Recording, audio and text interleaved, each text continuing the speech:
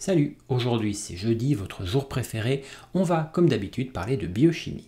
Aujourd'hui, on va continuer notre petit tour des différentes vitamines utiles au métabolisme humain avec une des vitamines les plus importantes, la vitamine B9. La vitamine B9, elle porte un nom que vous connaissez probablement tous, l'acide folique. Et pour être encore plus précis, on appelle en fait acide folique ou vitamine B9 tout un ensemble de molécules qui sont dérivées de cette vitamine B9 que l'on appelle les folates. L'acide folique, c'est une molécule de formule brute C19H19N7O6. Vous pouvez voir sa structure sur le schéma qui est ici à côté de moi. L'acide folique, c'est le précurseur d'une enzyme que l'on appelle le tétrahydrofolate, ou THF pour se simplifier la vie. Et ce THF, il possède un rôle primordial dans le métabolisme humain. Il permet de synthétiser les acides nucléiques. Oui, vous savez, ces petites bases qui permettent de créer l'ADN et l'ARN. Le THF intervient également dans la production de certains acides aminés, mais ça je vous en parlerai au fur et à mesure dans les capsules quotidiennes dédiées à ces acides aminés en question. Les folates sont synthétisés par les plantes et les champignons. Et encore une fois, le monde végétal nous bat à plate couture parce que les animaux ne sont pas capables de synthétiser l'acide folique, ils doivent le trouver dans leur alimentation. Leur alimentation végétale donc. C'est l'alimentation des animaux et des hommes qui est la source principale des folates de nos organismes.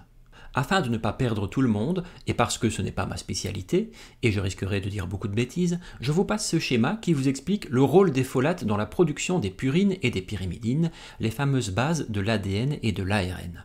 Vous voyez ce truc? Si vous le souhaitez, vous pouvez mettre pause sur la vidéo pour pouvoir étudier tout ça.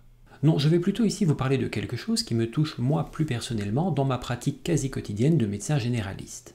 Les effets d'une carence en acide folique et les bienfaits de cette molécule qui est souvent prescrite. Cette carence, elle peut subvenir en cas d'apport insuffisant, si vous ne mangez jamais de légumes ou de champignons par exemple, mais également en cas de mauvaise absorption intestinale de cette molécule ou d'utilisation trop importante de cette molécule. Ça, ça peut arriver dans certaines maladies, mais je ne vous en parlerai pas dans cette vidéo. Dans une prise de sang classique, on ne dose que rarement l'acide folique, mais on peut facilement détecter les effets d'une carence en folate.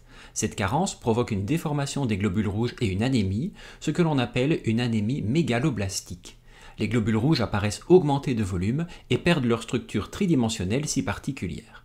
Pour plus d'infos sur les globules rouges, je vous renvoie à ma vidéo sur le sang que je vous place dans le coin de l'écran.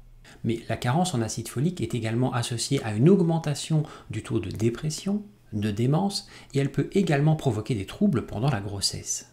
En effet, on supplémente souvent les femmes enceintes en acide folique car cette vitamine permet d'éviter les anomalies de fermeture du tube neural.